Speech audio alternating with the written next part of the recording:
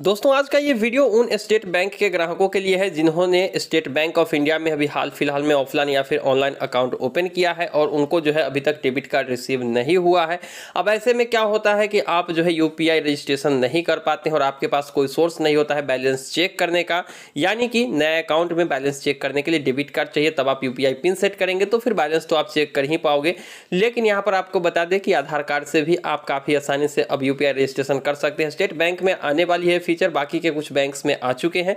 तो चलिए देख लेते हैं कि कम से कम मोबाइल बैंकिंग की जो सर्विस होती है मिस कॉल अलर्ट वाली कि मिस कॉल करिए और आपको जो है बैलेंस की जानकारी मिल जाती है। पिछले पाँच ट्रांजेक्शन की भी जानकारी आपके फ़ोन पर मिल जाती है। तो ये सर्विस आप घर बैठे ही काफ़ी आसानी से एक्टिवेट कर सकते हैं अगर मोबाइल नंबर आपने अकाउंट में दिया है तो। और बिना मोबाइल नंबर के तो अभी तो अकाउंट आपके खुलते भी नहीं है। तो यहाँ पर आपको जो है एस के बैलेंस इंक्वायरी वाले पे जब आप कॉल करेंगे तो यहाँ पर आपको दिखाई जाएगी कि आपका जो नंबर है वो रजिस्टर नहीं है इस फैसिलिटी के लिए। तो पहले आपको रजिस्टर करना होता है तो चलिए देख लेते हैं कि कैसे हम फ़ोन बैंकिंग या फिर मिस कॉल अलर्ट को चालू करते हैं अपने स्टेट बैंक ऑफ़ इंडिया में। तो फ़ोन बैंकिंग के लिए आपको रजिस्ट्रेशन करने के दो तरीके हैं। आपको यहाँ पर देख सकते हैं कि नाइन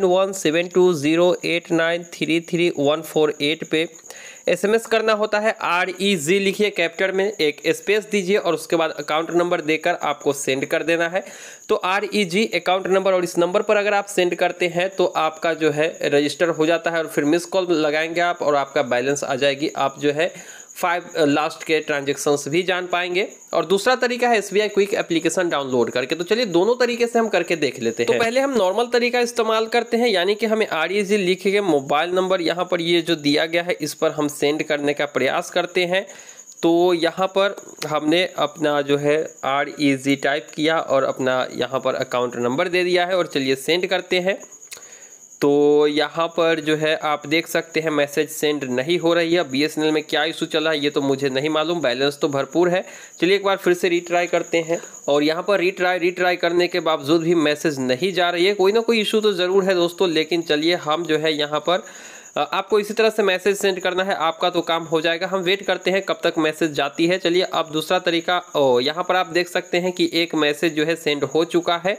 और यहाँ पर थोड़ा सा वेट करिए। यहाँ पर मैसेज भी मुझे मिल चुका है कि हमारा जो नंबर है वो रजिस्टर हो चुका है। तो अब जो है हम मिस कॉल करके देख लेते हैं। तो चलिए देख लेते हैं कि मिस कॉल करके अब जो है हमारा बैलेंस शो होता है कि नहीं। तो यहाँ पर आप देख सकते हैं बैलेंस जो है अब मैसेज आ चुका है मिस कॉल करने के बाद कि बैलेंस हमारा कितना है। तो इस तरीके से आप तो एक्टिवेट कर ही पाओगे। और दूसरा तरीका है S B I quick application download करिए और उसके स्टेप्स को फॉलो करिए। कुछ इस टाइप से आपको इंटरफेस देखने को मिलेगी। और वन टाइम रजिस्ट्रेशन करना होता है आपको बार बार नहीं करना होता है, एक बार रजिस्ट्रेशन कर लीजिए। उसके बाद जो है जैसे ही आप इस पर क्लिक करेंगे ना तो आपको वहीं पे लेके जाएगा, यानी कि नंबर ऑटोमेटिक आ जाएगी। आपको जो है बस अपना नंबर डाल देना है, जैसे यहाँ पर ही आपको नंबर डाल देना है अपना अकाउंट नंबर और ये डायरेक्टली वहाँ पर मैसेज टाइप कर देगा, बस आपको सेंड कर देना है। तो ये काफ़ी सरल तरीका भी है। तो इस तरीके से भी आप मोबाइल बैंकिंग के लिए रजिस्ट्रेशन कर सकते हैं एसबीआई में। बाकी दोनों में से किसी भी मेथड को फॉलो करिए और जब तक कार्ड नहीं आती है, आप बैलेंस चेक कर सकते हैं। इस तरीके से ये नए यूज़र्स के लिए वीडियो थी। उम्मीद है कि वीडियो पसंद आई होगी। वीडियो पसंद आई तो वीडियो को लाइक कर दीजिए। चैनल को सब्सक्राइब करिए और नोटिफिकेशन बिल को तो हिट करना बिल्कुल मत भूलिएगा। कोई भी सवाल है तो कमेंट सेक्शन में लिख भेजिए। मिलते हैं किसी नई वीडियो में। दीजिए इजाज़त। Thank you.